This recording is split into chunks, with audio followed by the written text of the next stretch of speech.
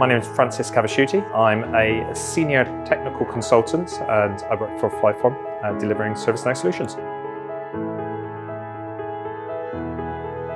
Managed services is literally what it says on the tin. You are looking to have your services managed by an external body. Uh, in this case, it would be Flyform. And we would therefore provide a team that would be able to manage your instance for you.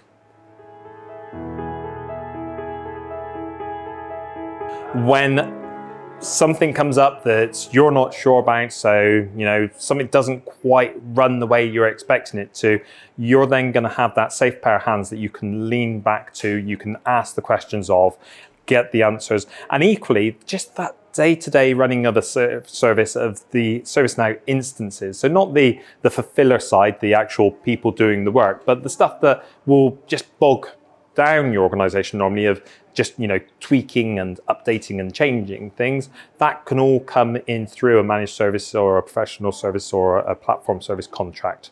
And that will then allow you to free yourself up to concentrate on doing the things that you need to do to keep your business running as you want it to and achieve the goals you want to and not be bogged down by having to concentrate on learning the intricacies of parts of the system which really and truly you will touch rarely. Outsourcing to a managed service team like Flyform, the benefits and the pros that you get from that are that breadth of knowledge and that breadth of experience.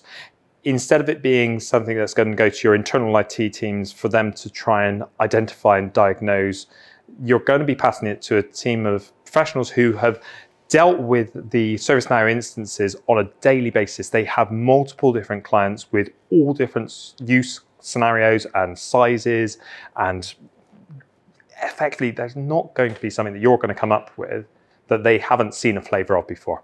So having it in-house, you're going to end up being bottlenecked normally.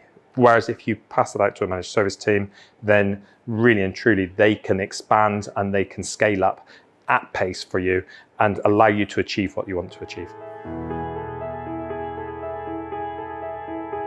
Yeah, so if, if you use the analogy of um, managed services, or, or, more to the point, use the analogy of ServiceNow being like a, a car that you've purchased from a, from a dealer. It's an expensive purchase.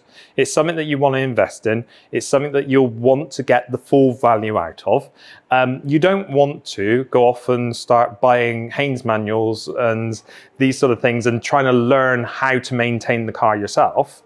You also don't really want to take it to, you know, Bob down the road who knows how to change spark plugs if it's from a main dealer and, and, it's a brand new vehicle. You want to go to the people who are the experts with that vehicle. You want to make sure that it's well maintained. So at the points that it needs to have a little bit of TLC, you want it to have that TLC. At the points where it needs to have the routine checks and the top ups, you want to have that done. You want to make sure that you are keeping on top of it ahead of time so that when you need it and when you rely on it, it's there. It's doing what you've invested all that money in. And it's exactly the same as ServiceNow.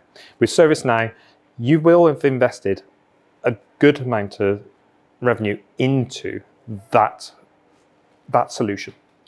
And the worst thing you can do is once you've done that, once you've implemented and put it in place, let it then go to pot effectively. Because not that ServiceNow has got a massive overhead on it, but it's just something that people will get very enthusiastic about. They will really desire to start stretching and doing as much as they can. And to have a managed service team behind you to be able to help you take those next steps, to be able to give you those health checks on a yearly basis, to be able to help you through upgrade processes. I mean, upgrades alone are something that as an organization, you would benefit so much from having a managed service team in because ServiceNow are very proactive with the new code they bring out. They're very proactive with the features and the functionality that they can offer you. And so you're looking at a major upgrade every six months inside the ServiceNow world. It's possible to do that internally. There's lots of good functionality in place to help you do so.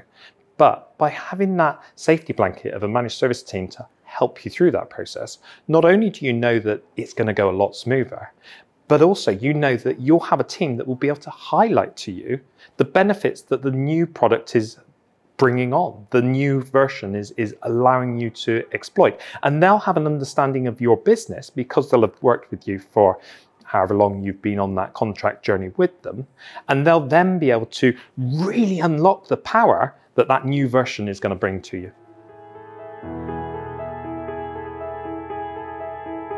Well, I've worked with a number of different partners in the past, and what I really like about Flyform's managed service team is that where Flyform is a pure play partner, the managed service team is also a pure play partner. So they live and breathe ServiceNow. And so when you go to the managed service team, you're not just getting somebody who happens to be quiet on Azure or, and you know, or, or, or Google or whatever this week and they've jumped across to the ServiceNow cloud solution, you're getting somebody that deals with ServiceNow day in, day out, is passionate about ServiceNow and wants to learn and expand and give you everything that they can. They, these guys are really embedded into everything that we offer as, as Flyform. Equally, we as Flyform are embedded into the managed service team. So I'm one of the professional service team, but I work closely with the managed service team on a daily basis. You know, I will reach out to them. I will work sometimes quite intensively on particular items which are maybe a little bit more challenging, or just be dropping in and doing, you know, code checks and quality controls and just sort of being that additional head that they can bounce things off of. So it's it's about that sort of that that benefit that you get that I've seen in other places is, is swept aside as really not being that important. And I think it's a real, real unique selling point that we have.